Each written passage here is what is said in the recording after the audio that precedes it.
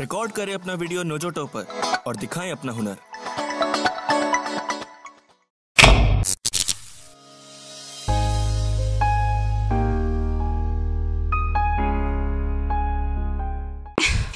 All right right.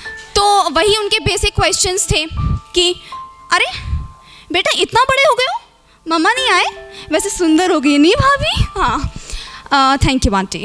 और क्या कर रहे हो uh, आंटी, मैं ग्रेजुएशन कर रही हूँ। अच्छा ये सब छोड़ो छोड़ो छोड़ो। शादी के बारे में क्या सोचा है? लाइक कुछ करनी भी है या नहीं? आजकल ना बच्चे मतलब बड़े शर्मा जाते हैं। हाँ नहीं। अरे भाभी, आजकल के बच्चों में शर्म बची का है। गुप्ता जी का लड़का, शर्मा जी को लड़की को लेके भाग गया।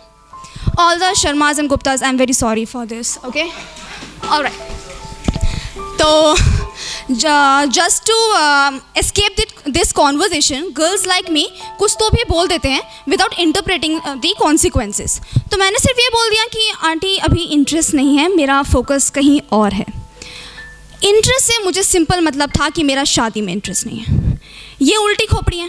इन्होंने क्या सोचा? मुझे लड़कों में इंटरेस्ट नहीं है। और किस्मत भी मतलब होता है ना तभी आपका साथ देती है। जी होती है थोड़ी।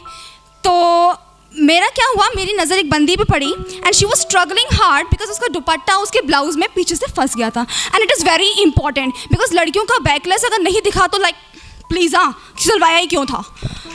तो अ, मैं उसको हेल्प करने पहुँच गई। पोजीशन थोड़ी ऑकवर्ड थी। आई रिपीट थोड़ी ऑकवर्ड थी ज़्यादा ऑकवर्ड नहीं थी। ठीक है इस पर नज़र किसकी पड़ी? उन्हीं आंटियों की। तो उनका रिएक्शन वाज लाइक भाभी इंटरेस्ट तो यहाँ है। जब फोकस ही कहीं और है तो इंटरेस्ट कहाँ से आएगा? सेकेंड वाली भाभी समझ गई हैं, पर वो हमको नहीं बताएँगी राइट तो अरे भाभी, मैं समझी नहीं।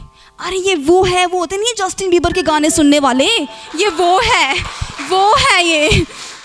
भाभी, अभी भी नहीं समझी। अरे नहीं भाभी, मुझे कुछ समझ नहीं आ रहा। फाइन ये वो है। समझे आप? वो है।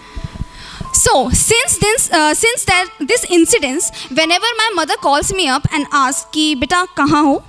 आई जस्ट रिप्लाई कि मम्मा थोड़ा टाइम लग जाएगा मैं अपने किसी दोस्त के यहाँ पे हूँ. तो मम्मा इज़ लाइक बेटा दोस्त लड़का है कि लड़की?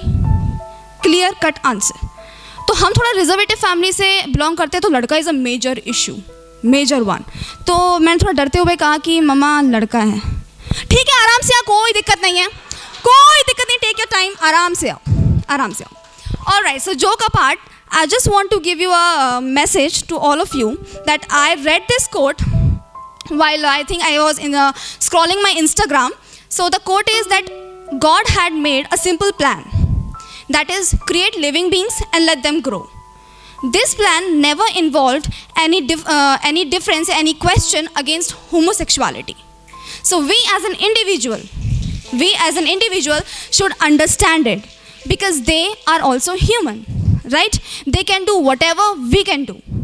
So rather than ignoring them, boycotting them, we are the ones, we as an individual should make them uh, feel related to this world, related to this beautiful planet.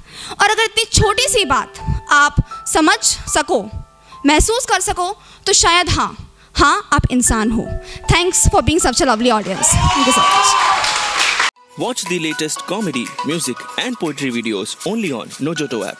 Download the app now.